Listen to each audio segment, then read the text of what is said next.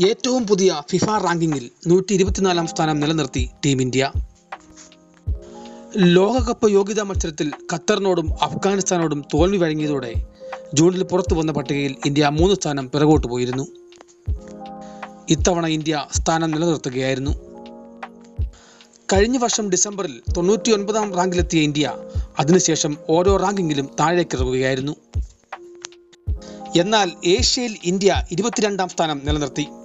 റാങ്കിങ്ങിൽ ലോക ചാമ്പ്യന്മാരും കോപ്പ അമേരിക്ക ജേതാക്കളുമായ അർജന്റീന ഒന്നാം സ്ഥാനം ഭദ്രമാക്കി. യൂറോ സെമിഫൈനലിസ്റ്റുകളായ ഫ്രാൻസ് രണ്ടാം സ്ഥാനം നിലനിർത്തിയപ്പോൾ യൂറോ ചാമ്പ്യന്മാരായ സ്പെയിൻ അഞ്ച് സ്ഥാനം മുന്നോട്ട് കയറി മൂന്നാം സ്ഥാനം കുതിച്ചു യൂറോ ഫൈനലിസ്റ്റുകളായ ഇംഗ്ലണ്ട് ഒരു സ്ഥാനം മുന്നോട്ട് കയറി നാലാമതെത്തി. അതേസമയം ലാറ്റിൻ അമേരിക്കൻ കരുത്തരായ ബ്രസീൽ കോപ്പയിലെ നിരാശാജനകമായ പ്രകടനത്തിന് പിന്നാലെ ഒരു സ്ഥാനം പിന്നോട്ട് പോയി അഞ്ചാമതെത്തി. മൂന്ന് സ്ഥാനം താഴേക്കിറങ്ങിയ ബെൽജിയം ആറാമതെത്തിയപ്പോൾ നെതർലൻഡ് ഏഴാം സ്ഥാനം നിലനിർത്തി. രണ്ടു സ്ഥാനം പിന്നോട്ടിറങ്ങിയ പോർച്ചുഗൽ എട്ടാമതും. കോപ്പ അമേരിക്കയിൽ ഫൈനലിസ്റ്റുകളായ കൊളംബിയ മൂന്ന് സ്ഥാനം മുന്നോട്ട് കയറി ഒൻപതിലുമെത്തി. ഇറ്റലി പത്താം സ്ഥാനം നിലനിർത്തി.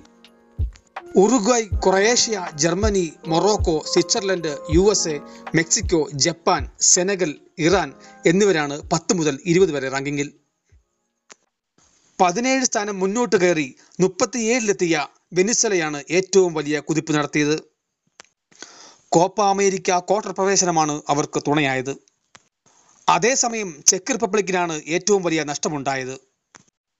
പതിമൂന്ന് സ്ഥാനം പിറകോട്ട് പോയ അവർ നാൽപ്പത്തിയേഴാം സ്ഥാനത്തേക്ക് പതിച്ചു. മറ്റൊരു വാർത്തയുമായി നമുക്ക് വീണ്ടും കാണാം. നന്ദി.